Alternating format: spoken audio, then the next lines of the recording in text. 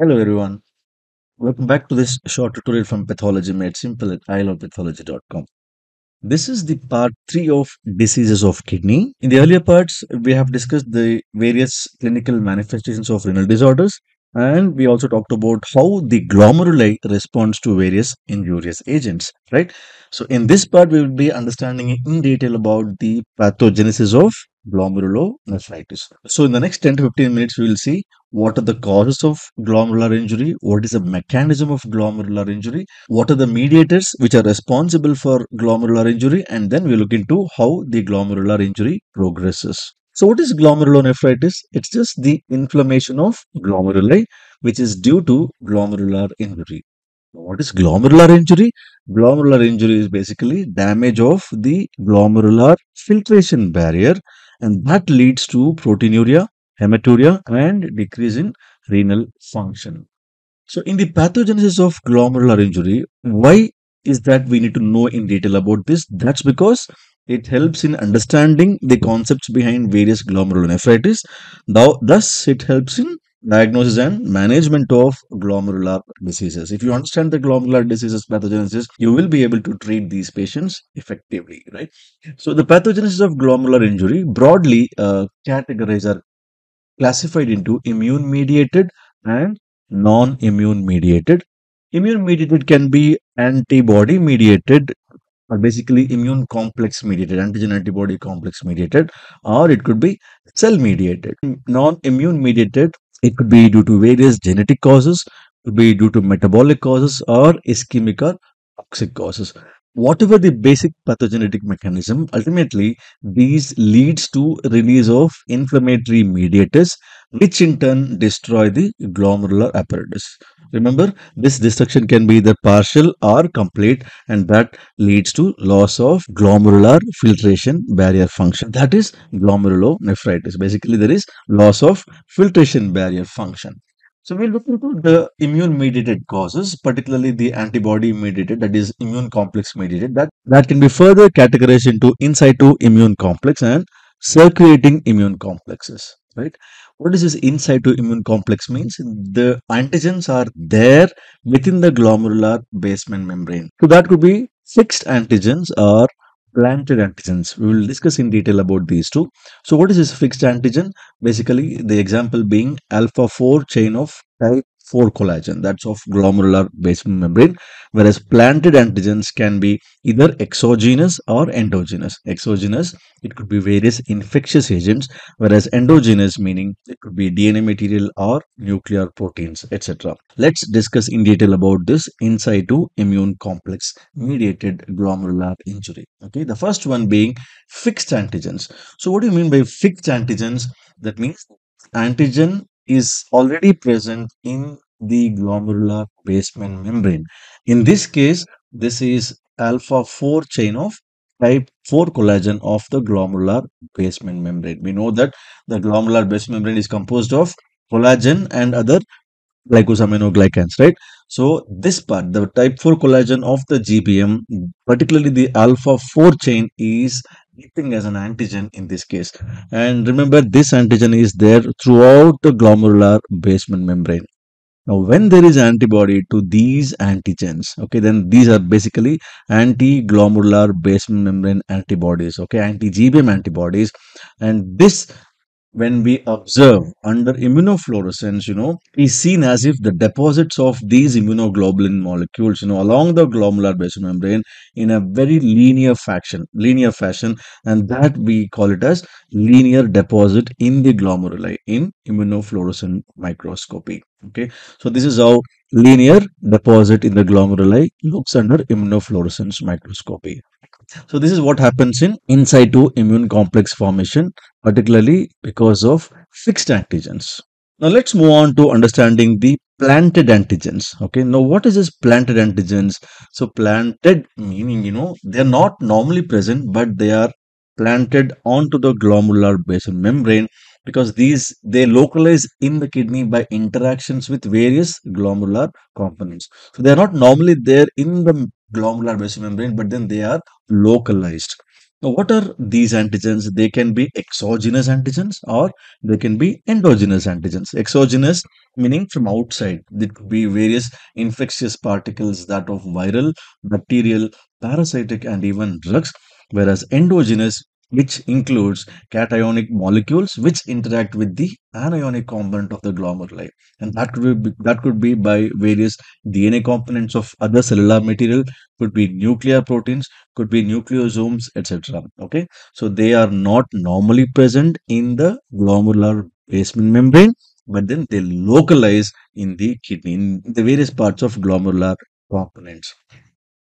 Now, that was planted antigens, right? So, we talked about immune complex mediated uh, diseases, particularly the in situ immune complex, right? We discussed about the fixed antigens and then the planted antigens.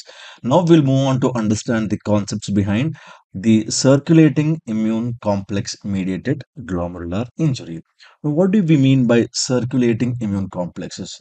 So, immune complexes are formed within the circulation, okay, and then these complexes are trapped in the glomeruli. These complexes are trapped within the glomeruli, right? So, they are basically antigen antibody complexes which are trapped in the glomeruli Remember that there is no immunogenic specificity for any glomerular component. Now, the question is, why are they even trapped? And that trapping is because of two important reasons. One, the physiochemical properties of these immune complexes.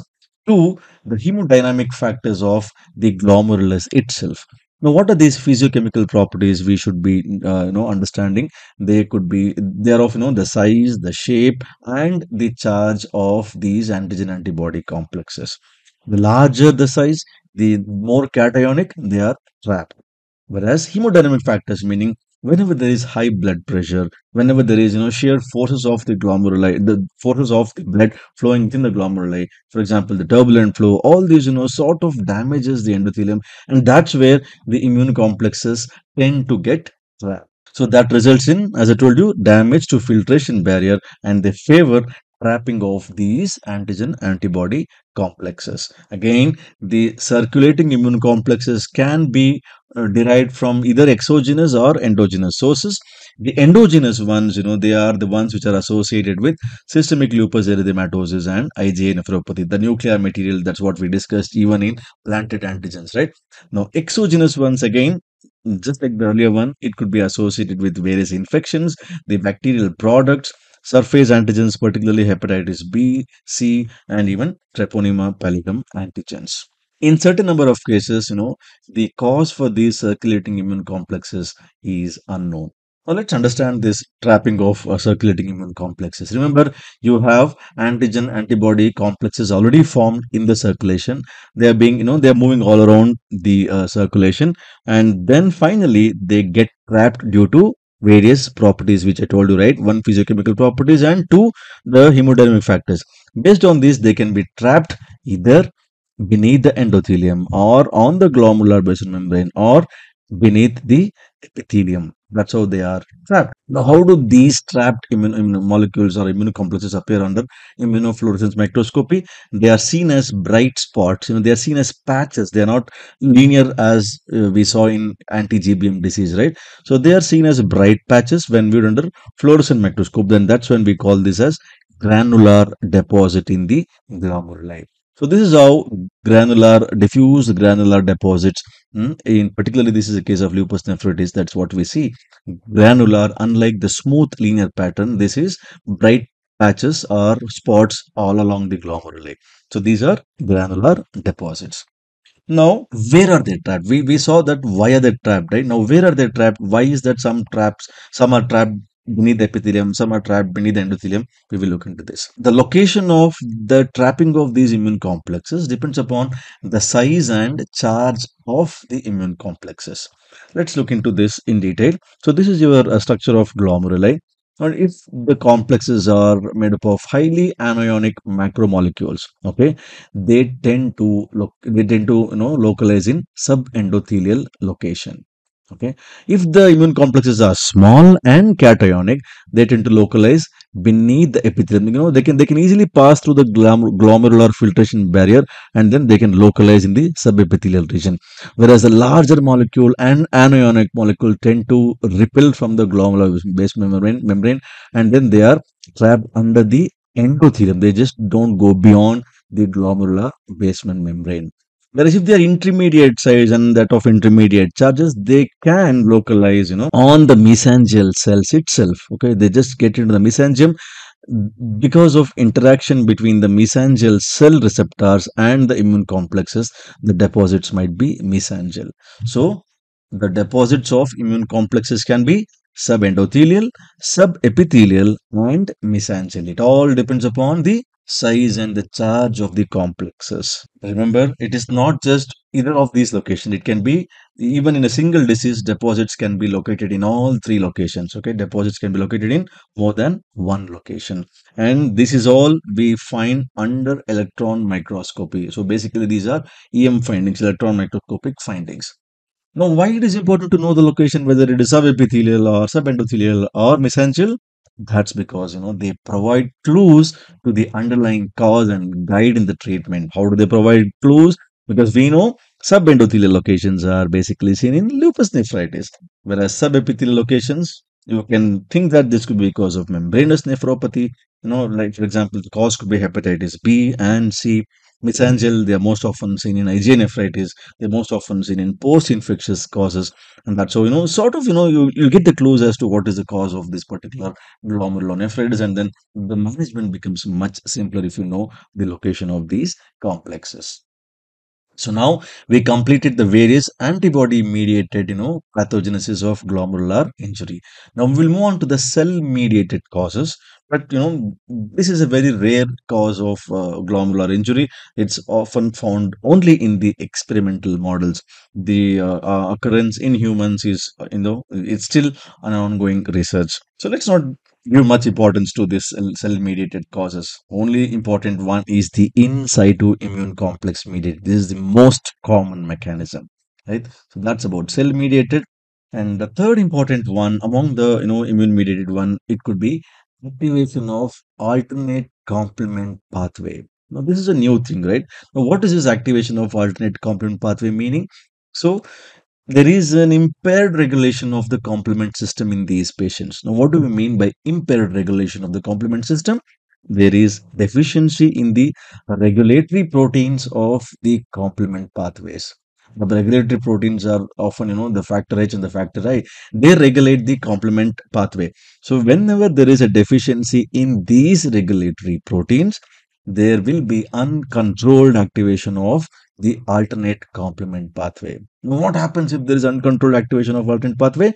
They, that leads to deposition of complement components, particularly C3 within the glomeruli and then that results in glomerulonephritis. Okay, this is often seen as you know, mm, electron microscopically dense deposits and that's why it's called dense deposit disease. And the impaired regulation is generally could be because of various genetic causes and could be acquired causes. The acquired causes include uh, autoantibodies that target these regulatory proteins, whereas genetic causes, in, which includes mutations in the genes encoding these regulatory proteins. So ultimately, whether it is acquired or genetic, all it results is deficiencies in the regulatory proteins and these consequences. Okay. So remember, uh, impaired regulation of the complement pathway, complement system leads to dense posit disease. We finished all these things. Now let's move on some non-immune mediated causes. The first one being genetic causes. There will be mutations in the gene. Saw we saw some of the genetic causes, right? When we talked about uh, causes of uncontrolled activation of alternate pathway, alternate complement pathway, right? That's one cause. And second one could be mutations in the genes that encode for the collagen of the glomerular basement membrane. And one of the example being Alport syndrome. I'm not going in detail to discuss about these things. Just remember, Alport syndrome is one genetic cause of glomerulonephritis. Then moving on to metabolic causes could be, you know, this is this is quite common. You know, you, you have diabetes, hyperlipidemia, amyloidosis, gout, etc. All these can result in glomerulonephritis due to various uh, causes. Uh, we will be discussing each of these later. Ischemic or toxic causes includes particularly drug-induced, for example, non-steroidal anti-inflammatory drugs, chemotherapeutic agents, toxins like heavy metals, pesticides, etc., and ischemia because of renal artery stenosis. All these can result in glomerular injury and then subsequently directly causing glomerulonephritis. These are non-immune mediated. So we discussed about immune mediated, non-immune mediated, and activation of alternate complement pathway. Now, now we know we will we'll just come back to immune uh, complexes. Now, what happens if there are immune complexes? Basically, we're looking at mechanism of glomerular injury in immune complex mediated glomerulonephritis. So, once there is formation of immune complexes, they activate complements. Hmm. They activate complement and then they also engage the FC receptors on various cells, particularly the leukocytes, the mesangial cells, and other cells, and that leads to inflammation and then proliferation. Okay. Now, once we know that these cells are activated, the leukocytes, the in you know the the mesangial cells. Now, what are all the mediators which ensue the glomerular damage? The mediators meaning the you know the components which are synthesized by these inflammatory cells and the mesangial cells. So, what are the mediators?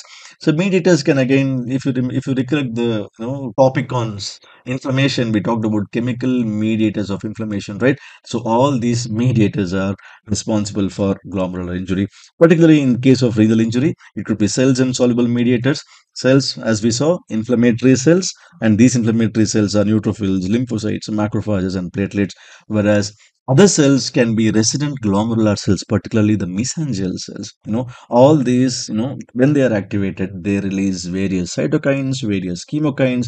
They activate the coagulation system and the complement factors and that's how they result in glomerular injury and proliferation. Now we know what are the causes of glomerular injury. Now we know how these immune complexes you know result in glomerular injury and we will see how the glomerulonephritis progresses. Now what is the mechanism of progression of glomerulonephritis? Now histologically the progression is seen in two forms. One whenever there is a sclerosis of glomeruli that is that, that's when we call it as glomerulosclerosis. So when you see glomerulosclerosis, that means you're looking at an advanced stage of glomerulonephritis. Second important histological clue is tubulointerstitial fibrosis. So glomerulosclerosis, tubulointerstitial fibrosis tells you that you're looking at you know advanced stage of glomerular uh, insult. What will happen? There will be gradual decline of the renal function due to the loss of functioning nephrons, right? Because because there is no glomeruli, there is damage to tubular interstitial uh, system, and ultimately that leads to reduction in the glomerular filtration rate, and finally leads to end stage renal disease. This is how the glomerulonephritis progresses if they are not treated in time. Now.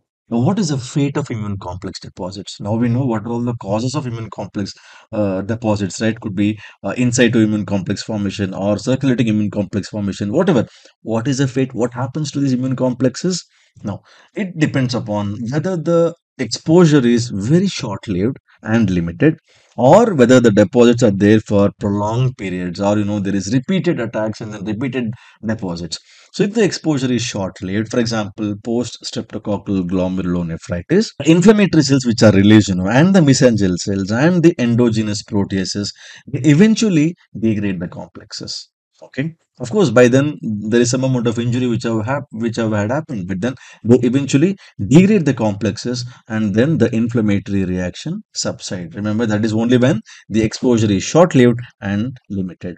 If the deposits are there for longer periods, say for example, we are looking at uh, systemic lupus erythematosus or even viral hepatitis, there will be more and more injury, and that leads to a chronic uh, form like you know chronic membranous glomerulonephritis or chronic membranoproliferative glomerulonephritis, and then there is progression, finally end stage renal disease.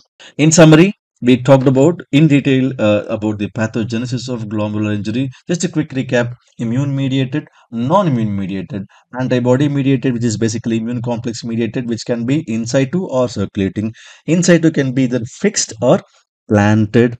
And then we on to understand the cell mediated activation of alternate complement pathway where there is dysregulation of complementary regulatory proteins, right? And then There is a few non-immune mediated causes like genetic, metabolic, and ischemic causes. So that's all we discussed today. Thank you for watching. If you have liked this video, hit the like button. Do comment if you have any queries to ask. Don't forget to subscribe. And please do share if you find this video useful. In the next class, I'll be uh, discussing in detail about the, the concepts behind acute post streptococcal glomerulonephritis. Stay tuned. Bye-bye.